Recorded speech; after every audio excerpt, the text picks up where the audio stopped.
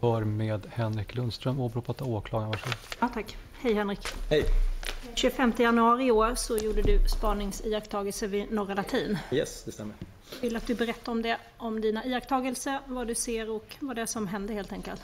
Eh, ja, jag jobbar ju som spanare eh, här i city och eh, under den här kvällen då så har precis innan, jag vet inte om ni har kollat på den här filmen som jag har eh, spelat in. Har ni gjort det? Mm. Yes. Mm. Eh, strax där innan så har jag blivit informerad om att eh, Karin och eh, Mikael har varit på en restaurang på Kungsgatan. Eh, och efter det här restaurangbesöket så har Mikael lämnat först, tror jag, att jag får informerat över radion eh, och går då i riktning mot Norra Latin. Och det tar ett tag från restaurangbesöket till att de går till Norra Latin, den här öppna ytan. Eh, där Mikael då går först och jag uppfattar det som att han, ja, han rekar en plats där de ska, där de ska stå. Karin går inte jämte honom utan jag, jag ser inte henne hela tiden utan jag rör mig runt Norra Latin och det är ganska stort och öppet där så jag har inte hela tiden full koll på, på varken Karin eller Mikael men jag ser att i alla fall han rör sig fram och tillbaka där. Eh, sen ställer de sig vid en position Själva huset är som i vinkel, vinkel V. Eh, där det står ganska många mindre lätta lastbilar parkerade och det är ganska det är mörkt, det är ingen belysning där. Eh, jag tar mig in på eh, konferensdelen där på Norra Latin och kan ganska snabbt se att det blir ett möte där mellan Karin och Micke. Mikael står med, med ryggen mot där jag befinner mig då. Och Jag börjar filma. Och ja, det är ju, de står och pratar med varandra. Eh, någon meter emellan. Eh, Mikael står med ryggen emot som sagt. Blickar ut över Norra Latin och ner mot ja, förlängningen av Vasagatan. Ner mot Clarion Sign eh, och ser även då Barnhusgatan. Eh, I det här läget så uppfattar jag det som att det är, det är Mikael som är den drivande i konversationen. Och eh, ja, Karin står framför honom där. Efter ett tag så ställer Karin ner sin handväska på, på marken mellan dem. Eh, och även en, eh, en plastpåse. Då. Eh, I det här läget, ja, det är väldigt mörkt, det är svårt att se vad som sker. För samtidigt som jag filmar ska jag titta, jag ska prata radio. Eh, så det är lite svårt att uppfatta exakt vad som, vad som sker där. Men hon ställer i alla fall ner den här handväskan och den här plastpåsen mellan sina, ja, mellan parterna så att säga. Eh, jag uppfattar som att det här kanske är, liten, det är en liten het potatis. Micke kollar ner på, på den här väskan men ingen plockar upp den. Liksom, utan det, de står och tittar på den lite grann och sen fortsätter, fortsätter de att samtala. Eh, det pågår ganska, ganska länge, då. det är en 5-6 minuter det mötet pågår. Eh, och mot slutet så böjer sig Mikael ner och plockar upp den här lilla plastpåsen. Eh, och då uppfattar jag det som att han, han vill gå därifrån. Han har ganska bråttom. Eh, men då, då är det som att Karin vill säga några... Ja, men hon vill fortsätta diskutera eller säga några avslutande ord och sådär. Eh, men Mikael vill gå därifrån. Eh, men det slutar med att han gör någon liten knäpp på näsan eller kin, smeker kinden eller någonting. Och sen går han hastigt därifrån. Går ut mot Barnhusgatan. Och jag ser att han viker av och går mot Drottninggatan. Eh, och där ska mina kollegor försöka komma ikapp honom. Eh, för vi är utspridda, vi vet ju inte vart han ska ta vägen. Så att, eh, och kort senare så får jag då veta att man har tappat Mikael, man vet inte vart han har tagit vägen någonstans. Och det är de iakttagelserna jag gjort där Mm. Du, vid den här tidpunkten, hur bekant är du med Karin Lilja och Mikael Rönnqvists utseende? Väldigt, skulle jag säga. Okej, så att för dig är det inga tveksamheter att det är de du ser vid Norra Latin? Nej, det är helt säker. Eh, Så säger du att, vad jag uppfattat, de Kommer de dit samtidigt eller hur långt är avståndet mellan dem? Jag får uppfattningen att du tycker att Mikael Rönnqvist är före Karin. Ja, alltså från det här restaurangbesöket. Jag är inte, jag är inte på plats vid Kungsgatan utan jag befinner mig på Olof Palmes gata. Eh, och vid ett skede minns jag att jag ser att Mikael kommer ut på Olof Palmes gata. Jag tror att det är från Klara Norra kyrkogata. Eh, och då är- uppfattar jag att han är själv. Då är inte, då är inte Karin med. Liksom. Så då, då, då är jag osäker på, men har hon gått någon annanstans? Eh, sen tror jag att man får upp henne någonstans i, i anslutning där. Eh, och i det här läget sitter jag i en bil Eh, så jag kan inte hela tiden ha full fokus på Mikael. Eh, men tar mig runt mot Barnhusgatan eh, och då ser jag att Mikael, ja, han går själv. Liksom. De går inte jämte varandra, de pratar inte med varandra. Utan han rör sig i alla fall ett tiotal, 15 meter fram, före Karin. Men då ser du båda? Då ser jag båda mm. gå i, i, den riktningen mot den här platsen där det här samtalet sen utspelar sig på. Okej. Okay. Och den här platsen då? Du säger, Mikael först, han, du uttryckte det som att han rekar plats. Ja, det är min uppfattning. Sen, ja. Jag vet inte vad som pågår innanför hans, i hans huvud. Då, men det är min uppfattning att den här platsen är så pass förvisso centralt i Stockholm, men den är väldigt undanskymd. Det är lastbilar som täcker åt ena hållet. Sen är den här huskroppen i vinkel V och han ställer sig så att han ser resterande del av den här öppna ytan. Eh, och det är inget folk, det är knappt något folk som rör sig där. Det är lite ja, människor som går där. Det är ju januari i, i vinter, liksom mörkt och, mm. mörkt och kallt. Och... Har du uppfattning ungefär vilken tidpunkt det här är? Ja, det är strax efter middagstid var det tror jag. Om det var vid, vid 60. Mm. Och eh, Du säger också att du uppfattar Mikael Rönnqvist som drivande. Ja, i den här inledningsvis i alla fall, då är det att han, eh, han gestikulerar och jag ser ju inte, vad han, jag ser inte hans ansiktsuttryck i och med att han är vänd med ryggen emot mig. Eh, men det är han som pratar med kroppen medan Karin då uppfattar det som att hon står och lyssnar. Eh, för hennes ansikte är ju vänt mot mig i princip hela tiden då, förutom mot slutet då när, när de ska dela på sig. Mm. Och sen säger du att Karin har en handväska och en plastpåse. Ja. Är, är det, har hon dem separat från varandra eller? Jag minns inte, jag för mig att hon ställer ner båda samtidigt och eventuellt hade båda i, i samma hand. Men det, det minns jag inte exakt faktiskt. Kan du beskriva handväska respektive påsen på något sätt? Eh, den här påsen då som, eh, som Mikael sen tar upp, den är ju lite så glatt uppfattar jag det som. Att den, den blänker lite i det här lilla, lilla ljuset som ändå finns på platsen. Mm. Eh, Medan handväskan kanske är något, ja, en klassisk damhandväska i skinn eller något. Mm. Och du får också uppfattning som du sa när du säger att påsen och väskan står mellan dem och mm. att det är en het potatis, tror jag du tyckte mm. det. Mm. Varför får du det intrycket? Ja, men de ställer ju ner den mellan sig där och sen så är det, det är lite små blickar mot den och hela det här scenariot känns ju som det känns som ett hett scenario i och med att de ändå suttit på en restaurang precis innan. Eh, där har man inte velat, där har inte den här överlämningen skett som ändå sker här. Eh, I samband med att han plockar upp den så har han väldigt bråttom därifrån. Eh, och ja, Mikael haltar när han går, men han får ändå en rätt hög fart när han tar sig därifrån. Eh, och uppenbarligen kommer inte resten av spaningen till kapp honom sen. Mm. Och när han lämnar då, eh, ser du vad tar den här påsen vägen då? Han stoppar den innanför, innanför jackan och döljer den så hans jacka buktar ut. Lite ja. Okay.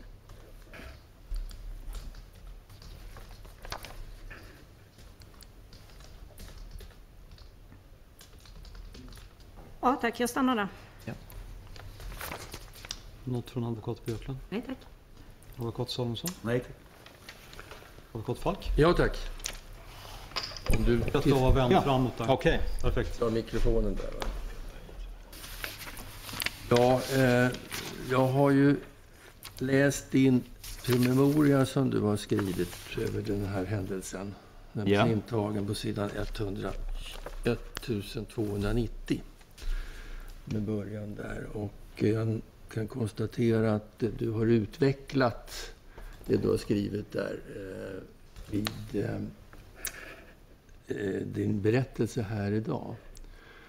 Eh, jag bara nämner det. Eh, för att jag kommer att ställa en del frågor då naturligtvis utifrån dels vad som står i den här promemorian och dels vad du har berättat. Ja. Jag var lite ouppmärksam, eh, vilket man inte ska vara, men jag var det ändå inledningsvis. När var det första gången du såg Mikael Rönnqvist vid det här aktuella tillfället? När du påbörjar spaningen så att säga och ser Rönnqvist första gången, var befinner han sig då? Första tillfället jag ser honom det är när jag sitter i min bil och kör på Olof Palmes gata. Eh, och han kommer ut, vad jag sa precis, eh, på Klara Norra kyrkogata tror jag att det är. Mm. Eh, och det är då efter att jag fått information om att restaurangbesöket har tagit slut och att de har lämnat restaurangen. Så det, det är då strax innan han och Karin sen sammanstrålar på Norra Latin. Okej. Och var finns Karin i det skedet när du ser Rönnqvist? Det, det ser ju inte jag. Det var precis det jag sa också att jag uppfattar i det läget att Mikael är själv eh, och att Karin då i min känsla är att ja, men kan hon ha tagit vägen någon annanstans? Eh, sen är vi ju ganska många i det här området så att det, nu minns inte jag exakt. Men någon, någon annan ser förmodligen Karin strax efter och, och så vidare. Och sen ser jag när båda då rör sig mot den här platsen där här Hur många, hur många eh, spanare var ni vid det här tillfället totalt sett? För att bevaka just den här händelsen? Ja, kan det ha varit tio stycken kanske? Tio stycken. Ja, åtta, tio stycken, något sånt. Ja, Och eh, Rönnqvist tar sig in. Du, du talar i termer om att han rekar en plats. Eh, och då undrar jag, det där ordvalet, vad, vad, vad, står det för i det här sammanhanget? Utifrån min erfarenhet som spanare i olika ärenden så både gällande narkotikabrott eller andra liknande händelser där någonting ska överlämnas så vill man ju inte att vill man inte få ögon på sig. Eh, sen i det här fallet så har de ju befunnit sig på den här restaurangen där ett oskyldigt överlämnande av en plastpåse inte hade väckt någon uppmärksamhet eh, i mitt fall, eller i min tanke i alla fall. Eh, och sen rör de sig till den här platsen på Norra Latin, det är väldigt undanskymt, det är mörkt. Eh, och Mikael då ställer sig på den positionen att han har uppsikt över vad som sker. Så det är min känsla av att han har rekat den här platsen. Okej, han har rekat den här platsen för att det ska ske ett överlämnande. Ja, det är, det är en känsla jag har i alla fall. Det är en känsla du har. Ja, Kan du beskriva vad den grundas på, den känslan? Är det det du ser eller är det någonting annat? För, får du rapporter från kollegor? Ni har väl kommunikation utgår jag från vid det här tillfället? Ja, vi- kollegorna. Vi, vi vet ju att eh, Karin har köpt guld och eh, en teori är ju att hon ska överlämna det. Då. Okej, till så en det är det du har i huvudet, att här ska ske ett överlämnande av guld eventuellt? Ja, bland annat. Och sen så det jag ser på platsen och min erfarenhet som polis. Okej, och det grundas på att det finns uppgifter om att Karin har varit och köpt guld? Ja, Okej, eh, det var dåligt eh, med, med ljus på den här platsen har jag förstått. ja det var det. Jag var inte riktigt klar över var du stod någonstans eh, vid det här tillfället. Eh, Jag var inomhus ja, på det här som heter en konferensdel där på Norra Latin. Ja. Det var något event som pågick där så jag gick in där eh, och fick tillträde bara till ett, till ett utrymme bara att stå och kika i. okej. Var det ett ljust utrymme du stod i? Nej, det var kolsvart. Okej, och hur fick du tillträde till det? Ja, det var bara att gå in. Okej. Så du stod och tittade genom ett fönster där då? Ja, Och hur långt bort från det fönstret befinner sig Rönnqvist? ja mellan, jag vet inte, mellan 30, 25, 30, 40 meter kanske. 25 till 40 meter bort? Ja, någonstans där. Okej. I mörkret? Ja, Och där gör du de här iakttagelser du har berättat om. Då, att ja precis. han rekar en plats. Du har berättat om, om eh, en, en påse. Eh, Jag fick aldrig klart för mig utifrån det du berättade hur stor den där påsen kunde tänkas vara, som du upplevde det. Den är ganska, ganska liten då i måtten, tänk 15 gånger 15 centimeter någonting. Eh, Och färg? liten sån här shoppingpåse som är i lite hårdare ja, plastpappmaterial där. Shopping, en liten shoppingbag. Och vad var det för färg på den, sa du? Eh, I det där läget så uppfattar jag att den är svart och att den glänser till lite. Eh, men det är, det är väldigt mörkt på den här platsen då. Och vet du var den där påsen kommer ifrån? Nej, inte jag. Jag har inte fått veta från kollegor som har eventuellt följt Karin Lilja. Nej, jag jag kommer inte ihåg vad, vad som har sagts i det avseendet. Fanns det någon text på påsen vad du kunde se? Nej, det kunde jag inte se från min, mitt håll. Så hypotesen är då, är det rätt uppfattat, att det eventuellt finns guld i den här påsen? Ja, Du, du uppfattade, eller du, du uppgav också som jag uppfattade det att eh, eh, det här var en het potatis. Jag ska inte tjata om det, men, men vad var det närmare bestämt som fick dig att få det uppfattningen att det här var en het potatis? Ja, det är ju hela händelseförloppet egentligen från att de har varit på, på den här restaurangen eh, där då, som, som slutar med att Mikael tar upp den här påsen och går därifrån och får väldigt bråttom. Eh, och sen vid själva mötet är det då att när Karin ställer ner det på marken eh, så står de och sneglar ner mot det och sen det känns som att de ändå, eh, pratar om det som står på marken. Eh, och, vänta, förlåt, förlåt att jag avbryter. Ta det där en gång till så jag inte tappar det där. ja. Karin ställer ju ner handväskan och den här påsen på marken mellan, eh, mellan sig själv och Mikael. Eh, och sen det som sker därefter är att båda sneglar ner mot det där och sen uppfattar jag det som att det de pratar om det är ju det som står på marken mellan dem. Eh, och slutligen när mötet sen börjar närma sig sitt slut, det är då Mikael får så pass bråttom. När han tar upp den där, stopp, ska stoppa innanför, innanför jackan och, och dra därifrån. Eh, och det är ju helheten som gör att jag tycker att det här är, en, det här är den heta potatisen. Mhm. Så Att på det här avståndet som du har berättat om och i den här eh, eh, miljön med det mörker som är så uppmärksammar du att man sneglar på den här påsen då? Ja, det uppfattar jag. Det är en het potatis. Ja. Hur pass påverkad tror du är i den här situationen av det förhållandet att ni har en teori om att det ska ligga guld i den här påsen och att det ska överlämnas? Men Det är ju en arbetsteori vi har. Ja. Eh, Tror du du är påverkad av det i dina iakttagelser? nej, det tror jag inte. Inte mer än att eh, jag gör de iakttagelserna jag gör. Jag förmedlar det till mina kollegor att det, det har gått över någonting Mm. eh, som då kan tänkas vara det här som då Karin har, har köpt. Okej. Eh, jag vet inte om du nämnde hur lång tid de stod där. Ja, mötet är, pågår väl ungefär 6-7 minuter, något sånt. Så det var inte ett snabbt möte och sedan att de gick åt båda håll utan de stod och pratade uppenbarligen där en tid. Då. Ja, det stämmer. Det, vad, vad hände sedan då? Jo, Rönnqvist tar upp den där och så går han iväg den här påsen. Mm. Vad tar du vägen sedan? Nej, jag går ut till, eh, till min bil och försöker hjälpa till för jag får ganska omgående eh, att man inte har koll på vart han har tagit vägen. Han har gått ut på Drottninggatan och tagit vänster eh, riktning mot Vasastan. Eh, och jag försöker då hjälpa till och leta rätt på, på Mikael.